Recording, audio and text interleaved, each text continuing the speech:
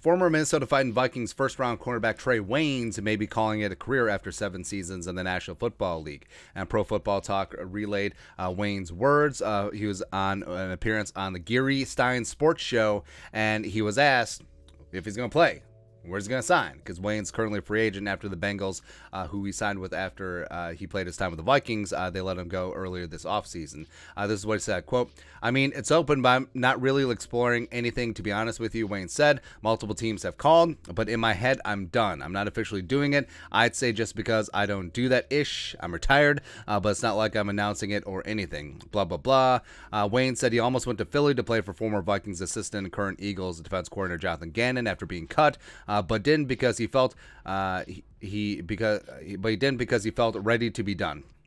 So I think that Waynes, you know, th- this whole language when, when, he's saying he's ready to be done or uh, in my head I'm done, I think that means you're done because if you got one foot out the door, you got two feet out the door uh, in this league. So I do think that Waynes is going to be hanging them up. Uh, now Trae Waynes was the number 11 pick in the 2015 draft by the Vikings. Uh, super speedster coming out of Michigan State, ran a 4.3 140 back in the day. I did have tight hips, uh, but I think that he established himself pretty nicely uh, with the Vikings. I think that he had a nice run as uh, a nice uh, cornerback option op- opposite of Xavier Rhodes, as well as uh, Terence Newman was in the mix as well. Uh, played out his fifth year option, but the Vikings didn't give him big time money, and the Bengals swooped in, uh, in during the offseason 2020, signing him to a three year, $42 million deal.